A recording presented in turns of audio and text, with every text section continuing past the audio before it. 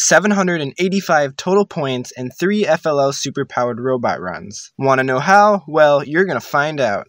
In this video, we'll be analyzing my three favorite runs that I've seen so far this year from YouTube, as well as going through some of my top tips from over 5 years of competing in FLL to help you and your team score as many points as possible this season. Also, if more than 42 people subscribe from this video, I will be making a bonus video explaining exactly how my FLL team made it to our state championships during the City Shaper season in 2019. So definitely please consider subscribing. Without further ado, let's take a look at some FLL superpowered robot runs.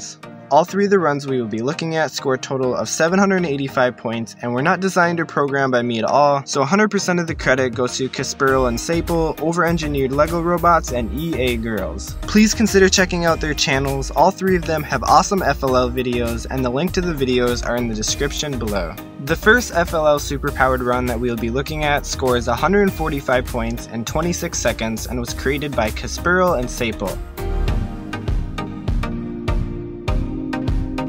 The first thing I would like to point out about this robot is the use of a linear actuator. These are one of my favorite types of attachments and are super useful.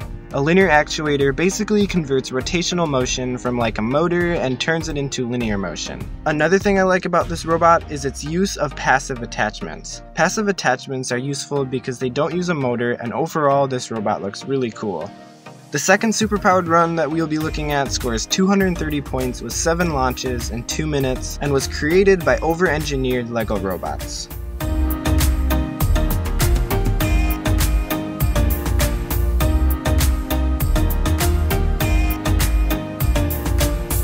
The first thing that I like about this robot is its cable management and how it has nice and sound construction.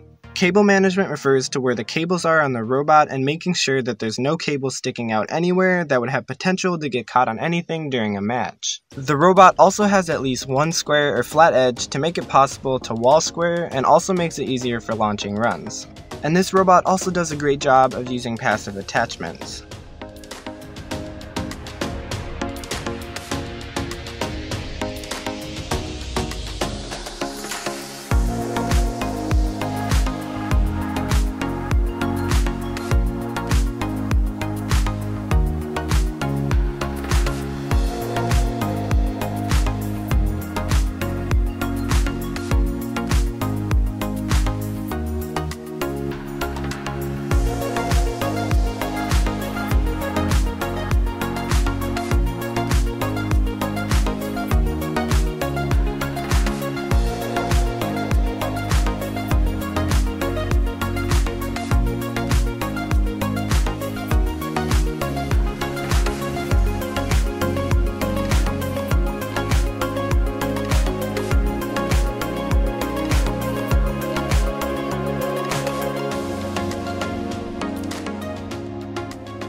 The third FLL superpowered run that we will be looking at scores 410 points in 2 minutes and was created by EA Girls.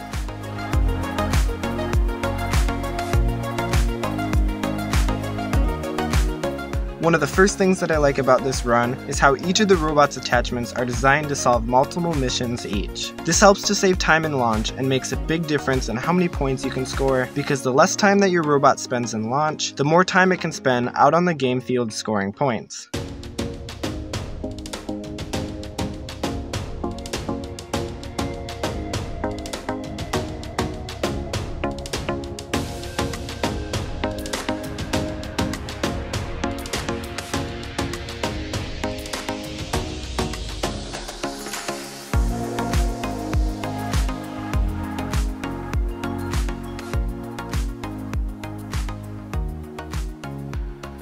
Here's another good example of this robot solving multiple missions at once.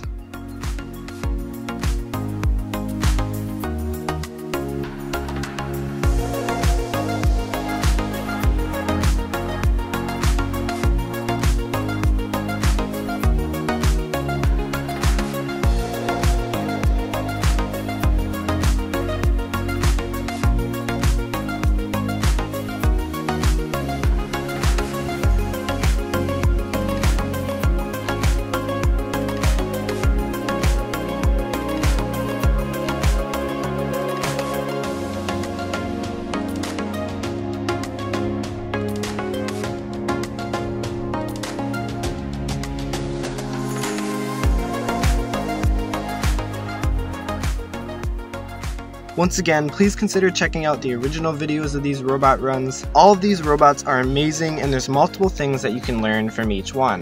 Please consider liking this video, and if you want to know more about how this year's robot game works, I would definitely recommend watching the video on the top right of your screen right away. Thanks for watching.